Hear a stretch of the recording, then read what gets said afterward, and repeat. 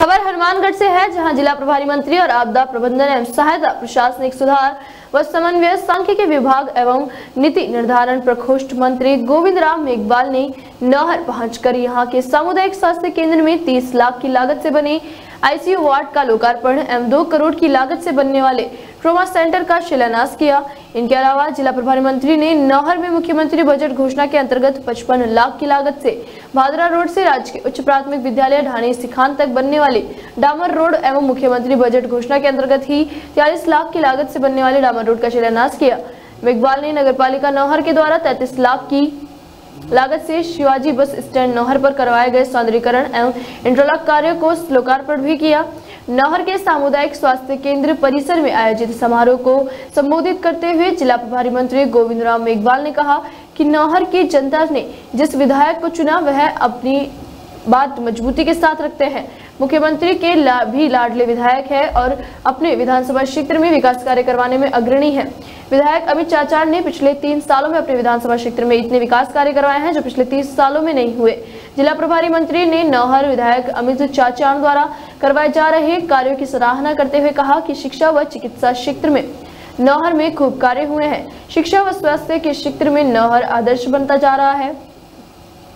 साथ ही कहा कि शिक्षा व स्वास्थ्य के क्षेत्र में दिया गया ध्यान व सहयोग सबसे बड़ा है। शिक्षा के बिना विकास संभव नहीं है। जो पढ़ेगा वह आगे बढ़ेगा।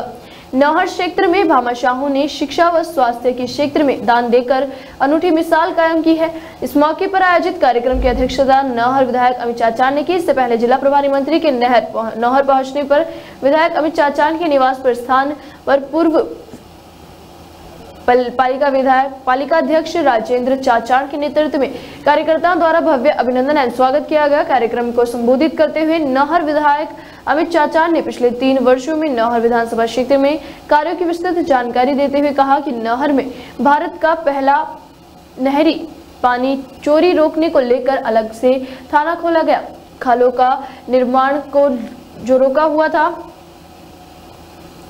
उसे नहर भादरा क्षेत्र में फिर से शुरू करवाया गया। उन्होंने क्षेत्र के भामाशाह, बिहानी व सवाल परिवार का आभार जताते हुए कहा कि बिहानी परिवार ने हाई स्कूल, कॉलेज इत्यादि के निर्माण में बड़ा योगदान दिया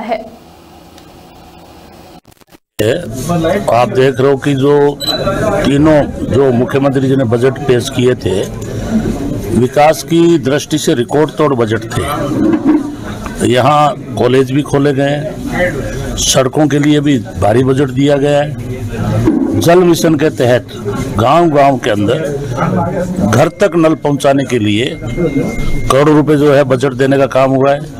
नहरों की मरम्मत के लिए कार्य हुआ है। कोरोना का प्रबंध पूरे हिंदुस्तान में सबसे अच्छा जो उसका व्यवस्था हुई है, वो हमारे राजस्थान में हुई है, जिसकी केंद्र सरकार हमारी विरोधी होते हुए भी प्रशंसा करती है कि कोरोना में मुख्यमंत्री जी का जो प्रबंधन था, वो बहुत ज़बरदस्त था घर घर दवाई पहुंचाई। हमने विधायक कोष से भी बहुत जगह जो एंबुलेंस दी गई है, और गवर्नमेंट की तरफ़ से जगह जगह ऑक्सीजन प्लांट लगे हैं आपके सामने डांबर की सड़कें नहीं बन रही है और अब भी जो बजट आएगा वो भी बहुत रिकॉर्ड तोड़ बजट होगा विकास की दृष्टि से।